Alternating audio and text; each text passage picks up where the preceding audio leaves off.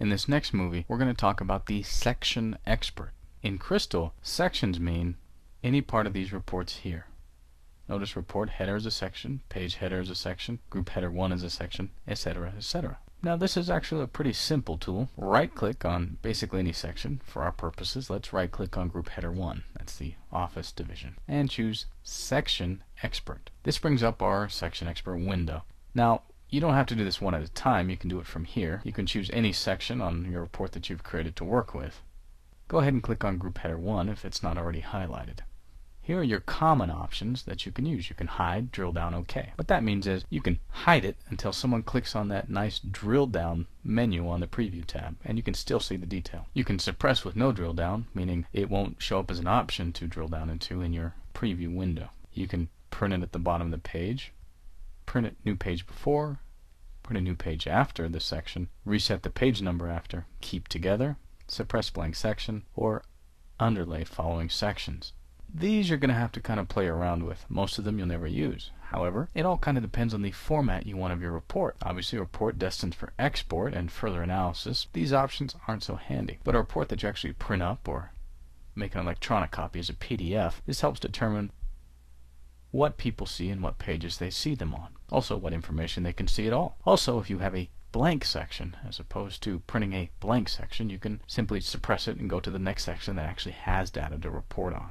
From here, you can also choose the color of the section. For example, let's say I needed a background color. The default is silver, and we'll leave it there for now. This little box here, the X plus 2 with a pencil underneath, that's for a special formula, but we'll get into those later. Go ahead and press OK. Notice, now my group header 1 now has this kind of grayish silver color to it. And if I click on preview, that creates this gray box throughout this section.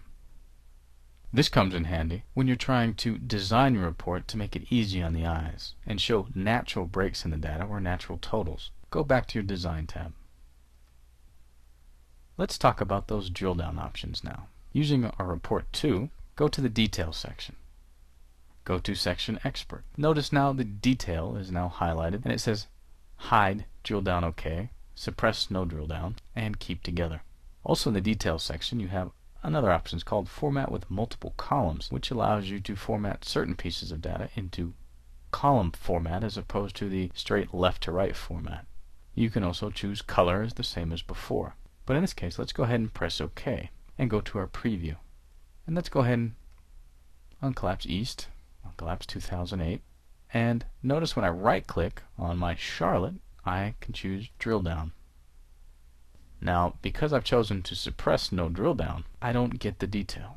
Let's go ahead and close that Charlotte tab and go back to our design and right click on our details section. Go back to our section expert and take off the suppress no drill down function and press OK. Go ahead and click on our preview tab. Go ahead and right click on the Charlotte in our little drill down menu and click on the drill down. Notice how it's different from before. Now I actually see the detail, not necessarily on the main report in the preview section, but if I choose to by using the drill down. Crystal as a tool can help you find data that you're looking for very, very easily. But at the same time, you don't need a report that's 500 pages long with all the data. Sometimes it helps to look at the roll-up and then investigate where you have problems. It's just a matter of philosophy or style. Go ahead and close out. Go back to our design view. Right-click on Office Division A and Section Expert again. Let's click on New Page After and press OK.